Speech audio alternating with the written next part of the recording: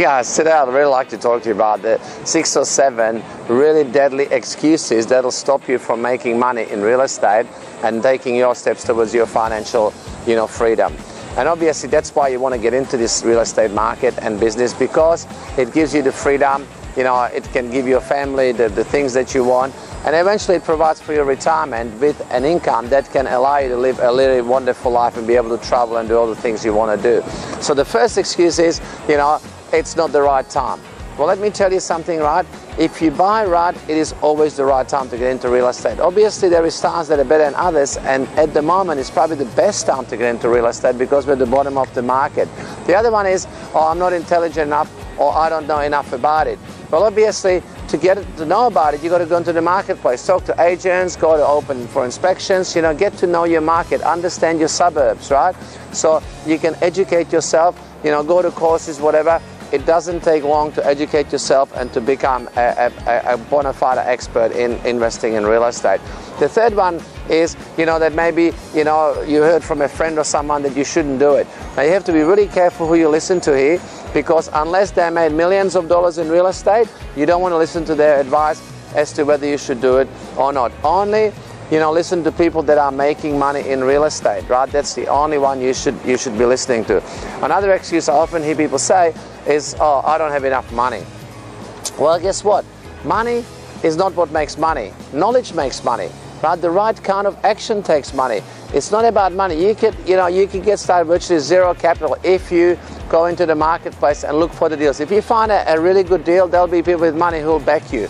Right? Even if you come to us, we partner up with some of our clients to actually do deals with them together you know, if they've got the right property. Because obviously, there's always opportunities in the marketplace if you go out there and find the right deals, find the right properties at the right price. And we teach you how to negotiate and do all that, right? The other excuse people say is, you know, it's like, you know, my, uh, my husband, my wife doesn't want to do it, or my partner's not wanting to do it. Well, guess what? Your partner is going to be the one that actually benefits from you guys making money, and doing this together is one of the greatest journeys you can do. I've done a lot of my investing with my with my ex-wives, and you know it's been a very, very, very good partnership thing to do it with somebody else.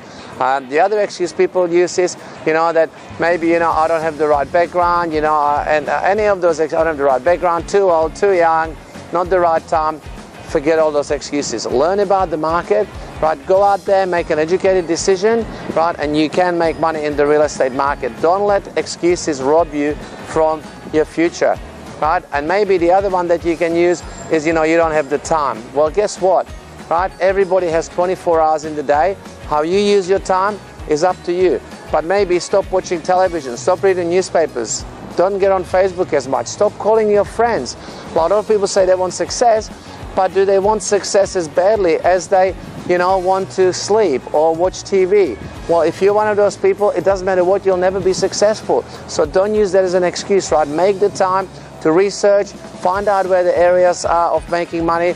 You know, go and do some, uh, you know, some exploration, talk to some agents, and then I want to see you there making money with the rest of the people that we've been mentoring. Until the next time, see you later.